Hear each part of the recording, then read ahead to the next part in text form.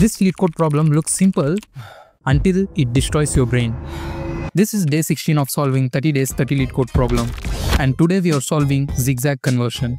To begin with, we are given a string of some length with a number of rows variable.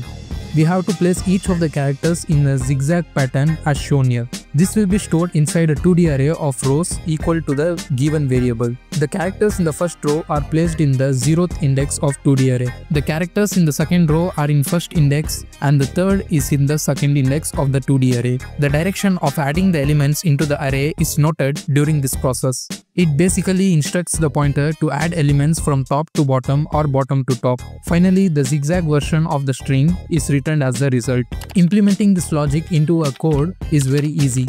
We start by checking whether the length of string is equal to number of rows or not. If yes, we simply return the string as the result. Then we initialize the index and direction variables along with the 2D array. Next, we loop through each character of the string and add it to the array. If the pointer reaches the edge of the string, we simply change the direction and add it to the index. Finally, we concatenate all the characters into a single string and return it. After testing this code, we can submit it. The time and space complexity of this code is O of n. Follow and stay tuned for next one.